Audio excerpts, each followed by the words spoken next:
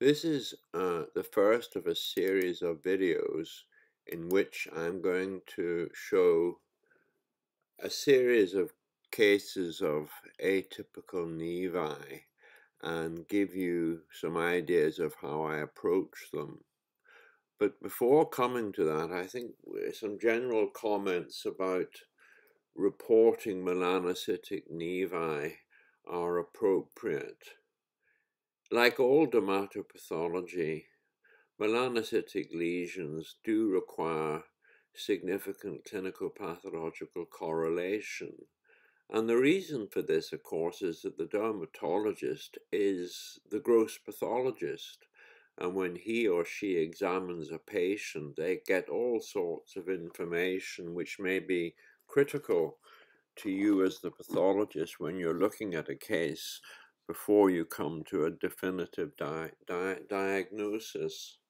Now, many of you uh, will tell me that uh, the, the specimens come with a request form saying skin query diagnosis. And um, I don't think that's good enough, really. I, I think it's up to you, the, the pathologist, to establish a good relationship with your dermatologist so that he or she understands the problems that you face without clinical information and makes more of an effort to help you out. After all, it's the combined work of you and the dermatologist which often uh, benefits the patient most. Uh, on the left, I, have listed a, a, these are the things that I think the dermatologist should be able to tell you about. Now, the first thing, obviously, is uh, we need to know the age of the patient, and we need to know the age at onset of the lesion. So let's let's say um, we have a male in his forties, and he has a three-month history of a of a, a pigmented lesion on his back and histologically that shows uh, melanoma in situ. Well, that's not a great problem. It's an easy diagnosis to make, so you can sort that out. But supposing that biopsy came from a two month old baby and it had been present at birth, what would you do then? Well, the answer is very simple. Neonatal nevi can be wildly atypical and can look like in situ melanoma. But in fact, in reality, it's just a variant of neonatal nevus. So it's really important that you, you do know the age of the patient before you start looking at a case. Now, there are some general rules that we can follow. Uh, one of these is symmetry. And although it's not a hard and fast rule by a long shot, it is a fair generalization to say that benign lesions are symmetrical and malignant or dysplastic lesions are asymmetrical. Uh, similarly, with the, with the border, benign lesions have a regular border melanoma has an irregular border. The color of a lesion can be very helpful. A uniform pigmentation uh, generally indicates a benign lesion.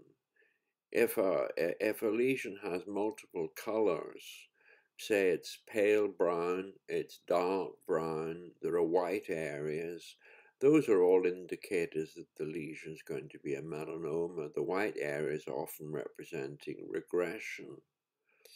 Now, there's a lot of talk about diameter of lesions, and I, I, am not really convinced about this, but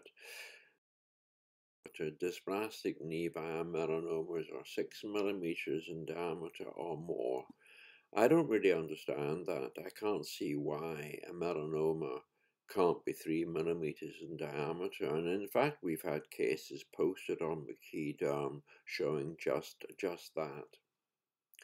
Evolution of the lesion. What this means is that the, uh, the lesion has, has grown a period of time, Perhaps the surface has changed. Maybe there's been a nodule developing at an edge of a lesion, something along those lines, which gives you a really good clue as to what's going on. The site of the lesion is very important, as I'll show you shortly. Uh, nevi about the external genitalia, particularly in females, can be wildly atypical and yet they're quite benign recent changes I've touched on, and lastly, the reasons for the biopsy. If the clinician tells you that they're worried about a lesion because it looked fine, and then in the most recent examination there was a, a variation in color with a very dark area at one edge. Well, when you look down the microscope at the histology, it's very important that you find that area that worried the clinician and if it's not present on the original sections, then you need to do levels until you see what it is. It might be a combined nevus, it might be a, a deep penetrating nevus, or it might be a melanoma arising within a nevus. So levels are often necessary before you come to the definitive diagnosis. And on the right, we have a lovely picture shared with me by Dr. Niamh Leonard of uh, a baby with a bathing trunk nevus and multiple proliferation nodules. Now, I put this uh, picture in because the thing I've noticed on McKee derm is that very few people seem to ink their specimens. And it's really, it's a very simple technique. All you need to do is get a paintbrush and a bottle of Indian ink and ink, ink the bottom and the edges of the specimen before you process them. And this has the value that it enables you to identify what the true the true margin is. If we look at this specimen here, we can see blue ink along the bottom of the specimen and uh, going along to the sides. Now this is a, a fairly easy to diagnose in situ melanoma and there you can see, for example, that is really a true margin and the ink comes up to there. Uh, and that's a true margin, so you know that this is fully, the, the lesion extends to a margin. So it's very important that you always ink uh, tumors, let, let us say, but particularly melanocytic lesions, because you don't want to be re-excising lesions unless you have to. It causes the, the patient undue suffering and it gives you a lot more work than you might necessarily have had to had. Now, um, there are lots of nevi which may show cytological atypia. I'd make the point dysplastic nevi for me invariably so show cytological atypia. Now, dysplastic nevi is a very controversial topic, and it's become even more controversial with the advent of molecular studies, and I'm going to talk about that in a separate talk. Uh, in this presentation, I'm going to restrict myself to neonatal nevi and genital type nevi and nevi of special sites, and I'll present uh, videos on the other uh, topics subsequently. And on the right, just, just as a good starting point, this is a, a so-called recurrent nevus.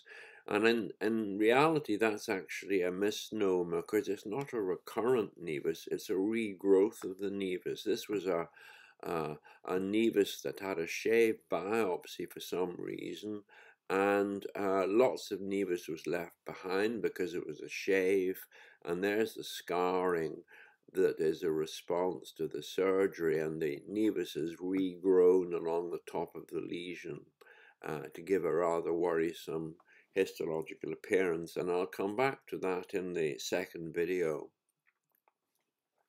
Now, I thought it would be appropriate just to remind the the uh, first year residents of what nevi looked like, and this is a junctional nevus. It's a nice uniform brown color. It's very small. And on the right at the top, you can see a very early junctional nevus with little nests arising at the tips of the rete ridges. And on the bottom picture, you can see very well formed nests of uniform nevus cells arising at the tips of the Rete ridges. In many of the atypical melanocytic proliferations, the nests arise not just at the tips, but at the sides and sometimes over the tops of the dermal papillae. And this is a compound nevus. One of the things I forgot to mention in the clinical is that in benign lesions, the, the skin lines tend to cross the surface of the nevus, and so you, can see them continuing on from the normal skin and going across the surface of the nevus. In a melanoma, that feature is lost. Now, this is a compound verrucous nevus, and on the right we, we can see the junctional area in high power. And what you can notice is that the junctional component and the superficial dermal component are composed of type A nevus cells, and these have abundant cytoplasm. Uh, it's often heavily pigmented. You can see lots of small melanin granules in the somewhat eosinophilic cytoplasm, and the nuclei are round to oval with conspicuous nu nucleoli. And this, this carries on down to the superficial dermal component. Now, as a nevus ages, or we sometimes say as, as a nevus matures, uh, it loses the junctional activity and becomes a wholly intradermal lesion, as you see in this bottom left-hand image. It's a dome-shaped uh, papule, and um, on the right side, we can see that the nevus is composed predominantly of small cells with minimal cytoplasm and very dark hyperchromatic blue nuclei. These are type B nevus cells. And then as the lesion matures further, we begin to see the development of spindle cells, which are seen at the bottom here. And these are type C nevus cells. And here we have a sort of an end stage nevus where it's undergone neurotization. And on this left quadrant, you can see uh, a pseudo Meissner body. And sometimes nevi may become totally neurotized, and then, of course, it's difficult to decide whether a lesion is a, a, um, a, a neurotized nevus or whether it represents a neurofibroma. Now, sometimes you'll encounter this type of phenomenon in, in a biopsy, the so-called inverted type A nevus, whereby pigmented type A nevus cells at the top are, are found at the bottom. Now, mostly this is this represents a variant of a combined nevus, but in this example, it's not abnormal at all because this is a very dilated uh, pilosebaceous follicle, um, which is extended, is cystic and extended deeply down into the, uh, the dermis. Now, if you remember, uh, in, in, the anatomy of the skin, the, the hair follicle ha has an outer layer of papillary dermis that follows it all the way around. And so this pigmented deposition of type A cells is lying within the, retic- uh, the papillary dermis of the hair follicle. So it's actually normal, but it looks in, a, in an abnormal location. So that's, uh, that's just one little variant that you may come across. And here's a strange one uh, whereby we have a, a totally dermal nevus. There's some residual type A cells at the top most of the lesion is composed of type B cells, and at the bottom here you can see spindle cells, so these are type C cells. But at the top, overlying the type B cells, are areas of neurotization. So if you like, you could call this uh, uh, an inverted type C nevus. This is just a histological curiosity and is of no consequence to the patient. Now, I just wanted to remind you that melanoma may sometimes arise in a nevus. It, it, it's very rare. If you think how many people have have 10 or 15 or 20 nevi, uh, you don't very often see a patient presenting with a nevus that's undergone malignant change, but it does happen from time to time. And here's a lovely example shared with me by Dr. Patrick Emanuel from Peru. And on the left, you can see a warty nevus, and on the right, you can see a great big nodule composed of smaller expansile nodules. And even at that low power magnification, you can look at that and really eh, it's so obviously a melanoma and it can't be anything else. There really isn't a differential diagnosis. I suppose if it had been a congenital nevus and there was lots of nevus cells forming uh, a huge uh, proliferation down here, you might wonder about a proliferation nodule. But this is just an ordinary compound nevus, and under uh, in in such circumstance this cannot be anything other than melanoma. And there's a close-up view there showing uh, the, on the bottom left we have some of the nevus cells and on the right you can see these great expansile nodules of very heavily pigmented cells. And when we look at them in close-up you can see on the left uh, a huge, huge expansile nodules of very, very interesting cells. They almost look as if they look almost like a, a sort of a brick wall. They they they appear to be equidistant from one another.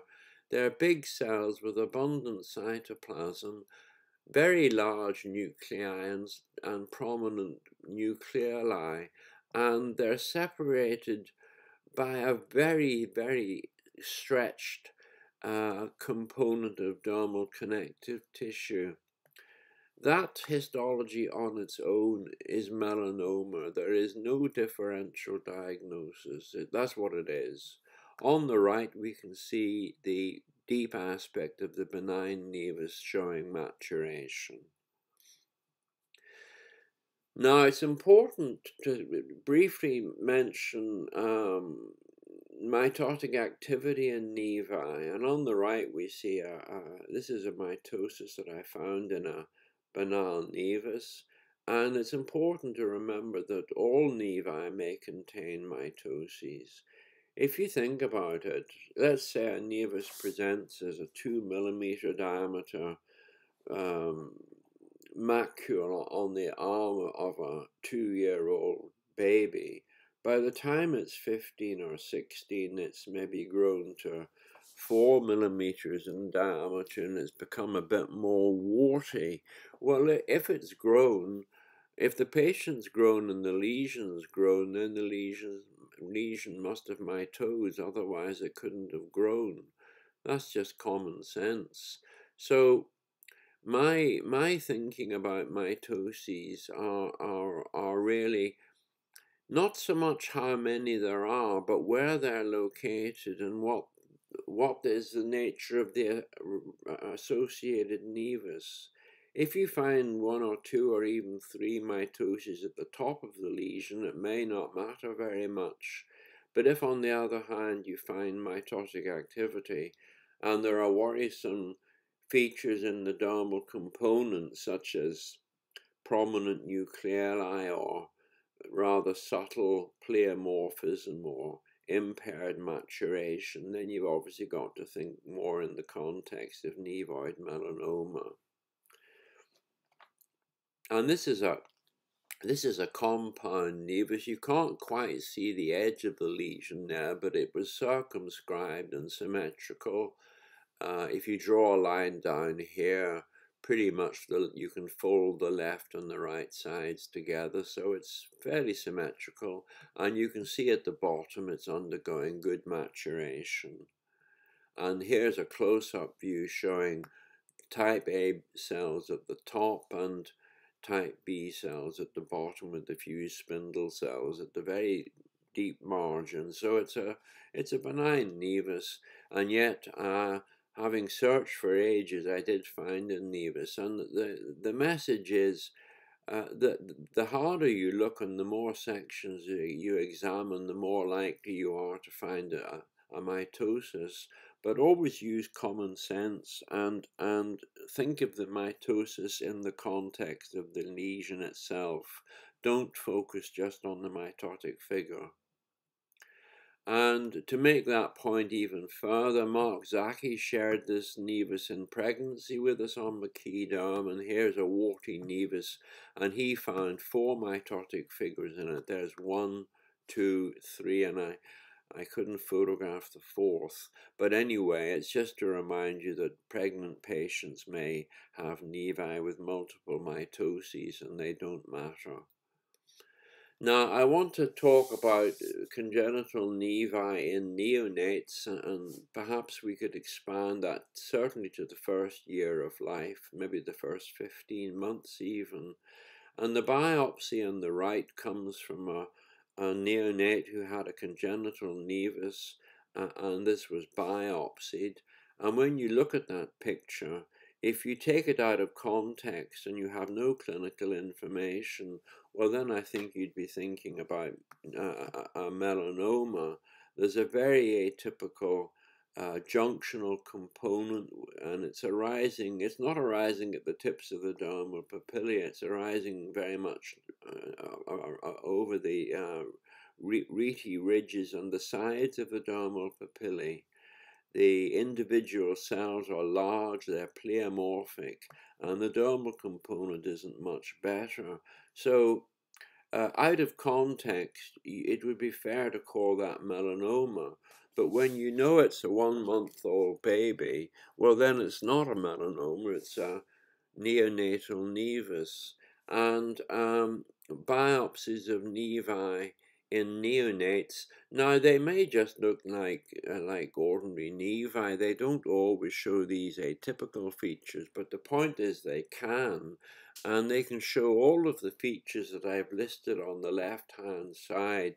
They can show all of the features that we associate with melanoma, but with clinical information, clinical pathological correlation, you can you can uh, prevent yourself making a terrible misdiagnosis by being able to recognize that that that is meaningless in a neonate. And here's a here's a, almost like a test case. This is a um, this is another neonate, but when you look at it, you can see large, they're expansile nests in the epidermis, and there are expansile nests in the dermis, and there's involvement of this hair follicular epithelium, and you can see very severe cytological atypia in the dermal component. So if that was an adult, you'd say, oh gosh, this looks like a nested melanoma. But we happen to know again that this is in a child aged uh, around about one month, maybe a little bit older, I've forgotten. But anyway, knowing that it comes from a uh, a young child enables us to recognize this as another neonatal nevus. And in this view uh, of one aspect of junctional activity, we can see that the nevus cells are huge, they're very hyperchromatic, they're very irregular. And another view, uh, and in, in this one, we can see severe cytological atypia.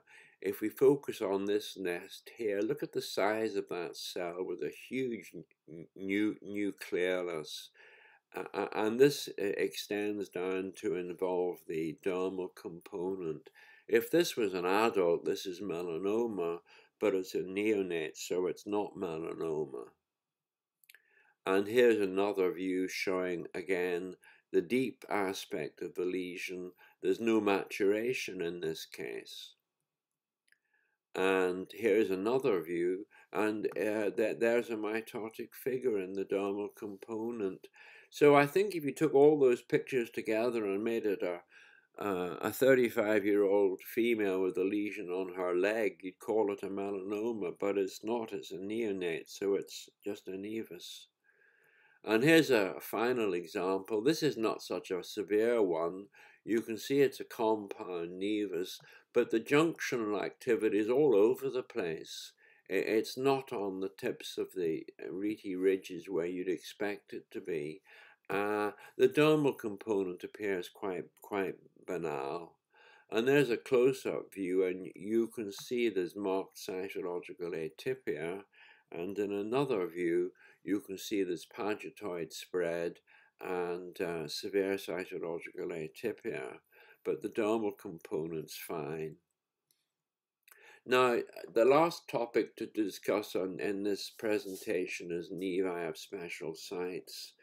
Uh, when they were first documented, it was really limited to the uh, nevi occurring in the external genitalia in young people, and it was predominantly females. And in fact, uh, atypical genital nevi are very rare in males, so um, mostly when we see them, they're they're young women uh, or, or, girls.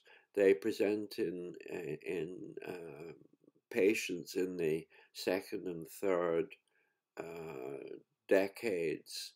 It's a good rule of thumb uh, melanoma occurs in 60 year olds, 70 year olds, 80 year olds. Atypical genital nevi occur in teenagers and women in their 20s.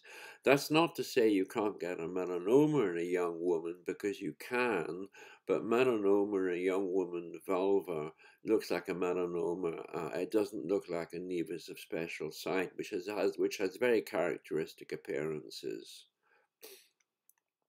Sub subsequently, it was realized that you may get identical features in nevi along the milk line. So you may see these in the groins, the umbilicus, the axilla. And then it was realized you can see them on the scalp and the ear. And I, I think I've seen them from all over the place, certainly from the trunk and the back. And uh, the whole point is it's the histology of the nevus that tells you what it is rather than necessarily the site. So once, once you get your eye in, you'll recognize them quite easily and they won't cause you any concern. But histologically, they may show all of the features that we describe when we're talking about melanoma, just as we did with the neonatal nevi. And uh, so clinical pathological correlation is very important. You need to know the age of the patient and you need to know the site of the lesion. And if you know those two features, it makes life much easier. So, um, nevi at special sites, they all look pretty much the same. They have large and variably sized uh, junctional nests that may show bridging, the melanocytic population is very discohesive and it may look frankly malignant. Usually the dermal component appears banal, which makes it easy. And on the right here, we have a, a very early lesion, but you can see on the right hand side there's a lot of pigmentation and you can make out some junctional nests. And even at this magnification, you can see the nuclei are very large and hyperchromatic. So here's our first uh, case. It's a female of 23 with a 1 centimeter irregular pigmented lesion on the labium majus. And if we look at this, you can see there's a uh, I have intensely pigmented lesions. So this would have appeared clinically as an almost black lesion, which I'm sure worried the clinician uh, greatly. The, these lesions are often picked up at uh, first at, uh, at the cervical smear clinic. The, the, the gynecologist, when he's examining the patient, will discover a pigmented lesion on the vulva and um, can get worried about them and then take a biopsy so that we see them. But anyway, that, that, that's a fairly good example of what the low power looks like. And this is uh, some higher power views of that lesion, and you can see intensely pigmented nests just scattered around the epidermis, not arising from hair or from the rete ridges necessarily, But as we move down the lesion, you can see that it matures very nicely with depth. And on the right, we have a high power view just to show that there's cytological atypia.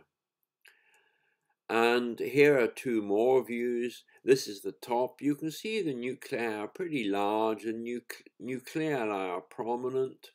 Uh, and on the right, you can see that there are type B nevus cells with scattered spindles, type C nevus cells. So there's good maturation. But the problem with this particular nevus is that it had two mitotic figures, one in the middle of the lesion and uh, uh, uh, and one near the bottom of the lesion. And um, these obviously caused a bit of concern. And there's one of the neat mitoses in higher power, and you can see that there, there, there's a little bit of pleomorphism of the uh, of the type A cells.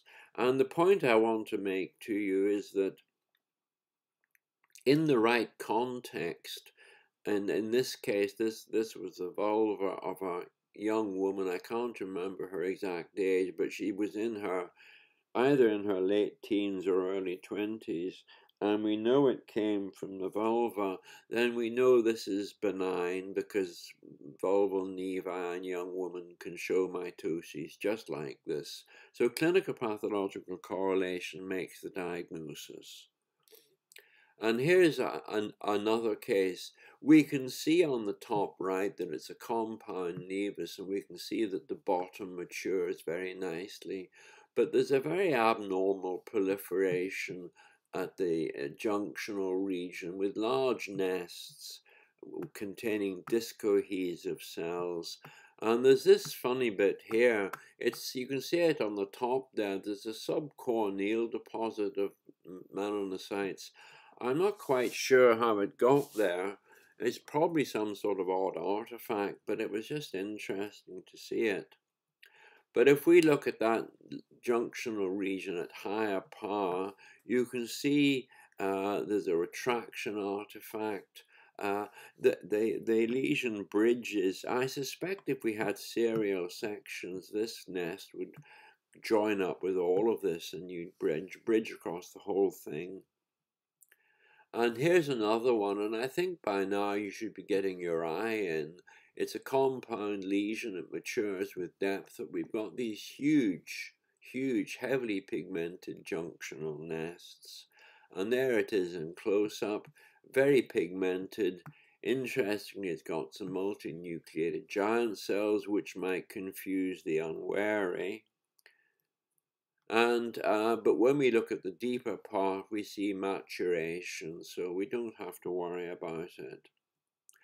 Another one, and by now these are becoming child's play for you. Huge junctional nests, very heavy pigmentation, uh, nests not not at the tips of the rete ridges, uh, and a very discohesive population and this is case 6.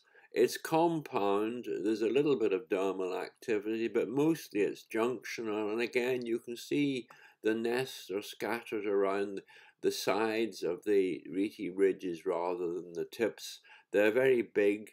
There's a retraction artifact. They're discohesive and there's lots of pigment. Another classical uh, nevus of special site.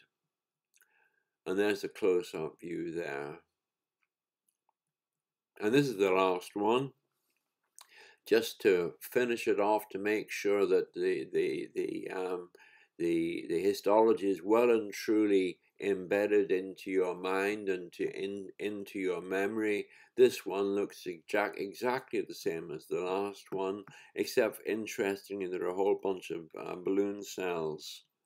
And there you see balloon cells in higher magnification.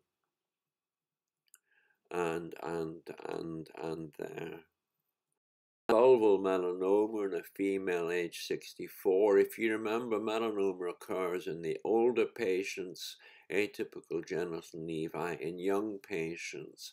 And this shows an irregular sawtooth acanthosis rather like the epidermal changes that we see in acral lentiginous melanoma, with a, a dense infiltrate in the underlying dermis, and on close up, you can see uh, a very atypical uh, population of cells that shows no maturation whatsoever.